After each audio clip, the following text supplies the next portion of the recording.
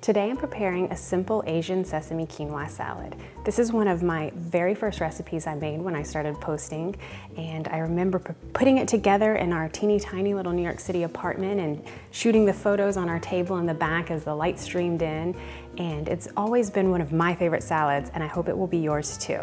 This is one delicious salad and it's perfect for meal prep to eat during the week. It's filled with great ingredients such as red cabbage, red bell pepper, carrots, edamame, cucumber, and I use bok choy for the lettuce, but you can use whatever you prefer. Start by placing the dried quinoa into a bowl and covering completely with water. Let it sit for about 30 seconds while you prepare the dressing.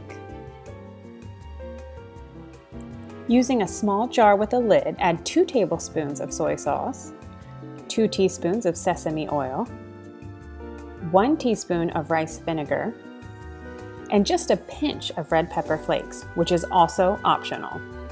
Cover and shake vigorously.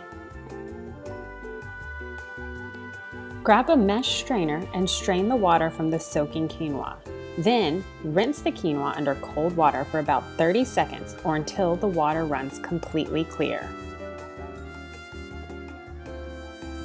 Place the rinsed quinoa in a large pot and add 2 cups of water. Set the heat to high and cover with a lid.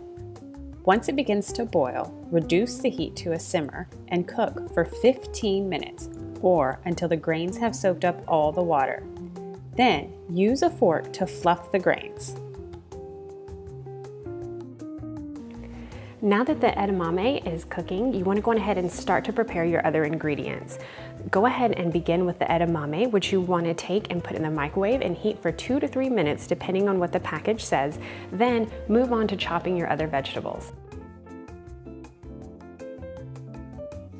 Remove the outer tough layers of the red cabbage and toss. Next, slice the bottom stem off and then cut in half by slicing from the top to the bottom. Thinly slice the cabbage and remove any tough parts, and then chop into smaller pieces.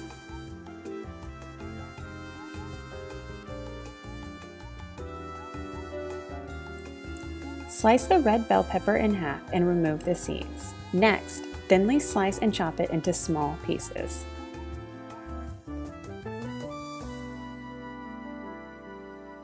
Peel and chop the cucumber and then set aside. You can also remove the seeds if you prefer, but this step is not necessary.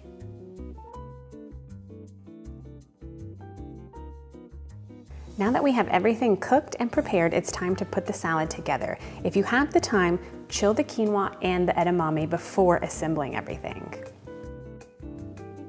Place all of the ingredients, with the exception of the dressing, into one very large bowl. This recipe makes a ton of salad, so if you need to use two bowls to mix it up, you can.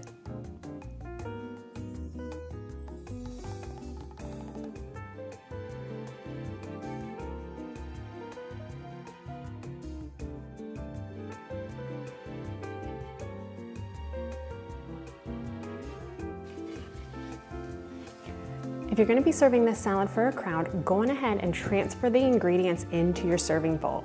Then give your dressing a little shake and pour it on and toss one more time before serving.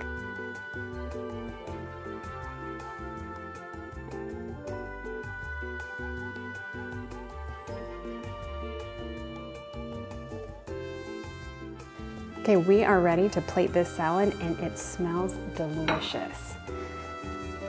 I like to go ahead and put a little bit on my plate and then I add some extra garnish by adding maybe a little bit of extra red pepper flakes, some sesame seeds, and even some green onions. All of which just add to the delicious flavor of all of these vegetables mixed together. It's a little bit of green onion, maybe just a little bit more red pepper flakes. And the red pepper flakes are optional. If you wanna leave them out of the salad dressing, you can do that as well. Okay, this looks delicious. Okay, let me just grab a fork here Oh, there's so much goodness in this salad. And it's one, again, that you can use for meal prep and you can go on ahead and dish it out into your meal prep, prep jars and eat it all week long. I hope you enjoyed this recipe as much as I do. And if you like what you see, go ahead and subscribe for more recipes by clicking the link below.